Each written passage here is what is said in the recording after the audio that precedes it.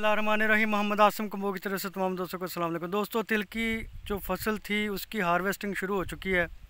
मुख्तलिफ़ जगहों से मुख्तलिफ़, जो पैदावार की सूरत सामने आ रही है।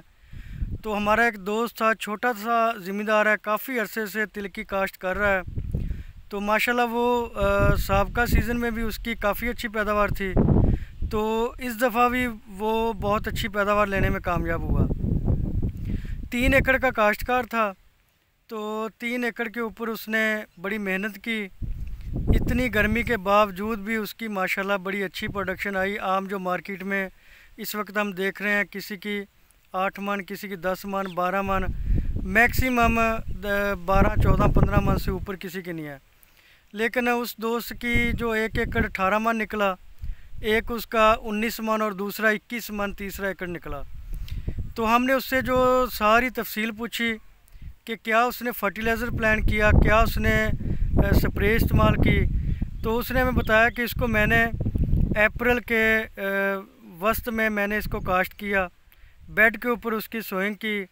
तो जब पहला पानी बीज लगाने के लिए, चोपा लगाने के लिए लगाया, उसी वक्त उसने एक बोरी डीएपी उसके ऊपर जो है वो फ्लड कर दी। तो ये पहला पानी लग गया। टोटल उसने पाँच पानी अपनी फ़सल को लगाए। तो पहले पानी के ऊपर उसने सिंपल एक बोरी डीएपी इसका इस्तेमाल किया। उसके बाद तकरीबन 10 से 15 दिन बाद उसने जब दूसरा पानी लगाया तो क्योंकि पौधा निकल चुका था, उन दिनों इतनी गर्मी नहीं थी तो उसने 20 किलो यूरिया दूसरे पानी के ऊपर इस्तेमाल की और साथ दो किलो थायोफनेट, जो टापसन एम भी कह सकते हैं, या कोई दूसरी कंपनी का उसने थायोफनेट इस्तेमाल किया। उसके बाद तीसरा पानी जब उसने लगाया तो तीसरे पानी के ऊपर उसने, ये बड़ी अहम बात है, इसके ऊपर आपने थोड़ी सी तवज्जो देनी है। तीसरा पानी जब उसने लगाया तो उसके ऊपर उसने आधी बोरी यूरिया, शाम के वक्त उसने पानी लगाया और साथ उसने तीन किलो सल्फ़र का इस्तेमाल किया। तीन किलो सल्फ़र लगाने के बाद स्प्रे का मैं शेड्यूल लहदा बताऊँगा, ये फर्टिलाइज़र प्लान है जो दोस्तों को बता रहा हूँ। तो तीन किलो सल्फ़र और आधी बुरी यूरिया उसने इस्तेमाल किए। जब उसका चौथा पानी लगा, चौथे पानी के ऊपर फिर दोबारा उसने आधी बोरी यूरिया और साथ उसने चार किलो सल्फ सल्फ़र का इस्तेमाल किया। यानी कि टोटल उसने अपनी फ़ी एकड़ जो सल्फ़र की जो मकदार थी, वो सात के जी उसने रखी। तो ये सात किलो उसने सल्फ़र कंप्लीट किया। उसके बाद जब लास्ट पानी उसने लगाया उसके ऊपर उसने दस से बारह किलो अपना यूरिया इस्तेमाल की और साथ उसने आधी बोरी पोटाश जो एसओपी होती है पच्चीस केजी वाली, वो उसने साढ़े बारह किलो अपनी फ़सल को दी। तो ये उसने अपना फर्टिलाइज़र प्लान रखा। अब स्प्रे के ऊपर जो उसने हमें बताया कि स्प्रे उसने कहा कि मैंने बाईफेंथ्रीन का इसके ऊपर ज़्यादा इस्तेमाल रखा शुरू शुरू में क्योंकि ये अपना सबज तेला लीफ अपर लीफ माइनर वगैरह का टैक होता है उन दिनों। तो साथ उसने टैकामेन का इस्तेमाल किया, जो पहला उसने स्प्रे किया। उसके बाद दोबारा फिर उसने बाईफेंथ्रीन और साथ ईज़ा बयान का जो उसने स्प्रे किया। फिर उसके बाद सीज़न आ गया वाइट फ्लाई का, सबज तेले वगैरह का।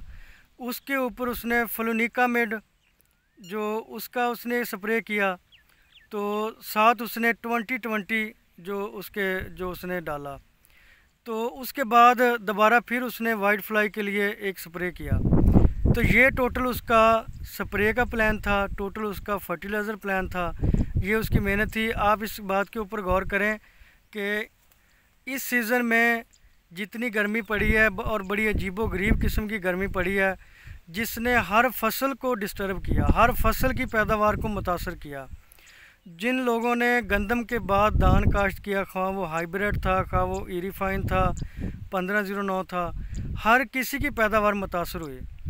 तो जिसकी पंद्रह ज़ीरो नौ थी, वो दस मान, बारह मान, जिसकी इरीफाइन थी, हालाँकि गर्मियों वाली वैरायटी है, उसकी पैंतीस मान, चालीस मान, जिनका हाइब्रिड था, जो हंड्रेड प्लस जिसकी जिसकी पैदावार होती है फ़ी एकड़, वो भी साठ मान, पैंसठ मान, सत्तर मान रही।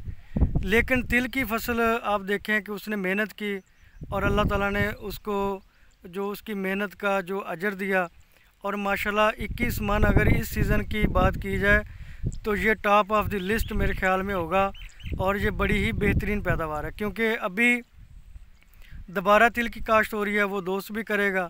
इन दिनों जो काश्त होगी, उसका जो गर्मी वो स्ट्रेस नहीं देगी और मेरे ख्याल में अगर यही हम फर्टिलाइज़र प्लान रखें कि वीडियो बनाने का मकसद भी ये है कि जो दोस्त दोबारा तिल की फ़सल लगाना चाहते हैं तो यही अगर फर्टिलाइज़र प्लान रखें तो उम्मीद है कि इससे कम खर्चा होगा।